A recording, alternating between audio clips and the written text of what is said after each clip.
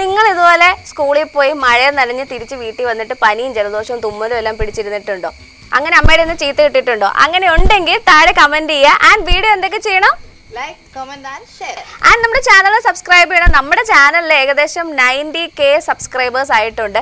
അപ്പോൾ ഒരു ഒരു ലക്ഷം ഒക്കെ കഴിയുമ്പോഴത്തേക്കും നമ്മൾ ഒരു മീറ്റ് ആൻഡ് ഗ്രീറ്റ് ഒക്കെ പ്ലാൻ ചെയ്യുന്നുണ്ട്. അപ്പോൾ എല്ലാവരും വരണം. അപ്പോൾ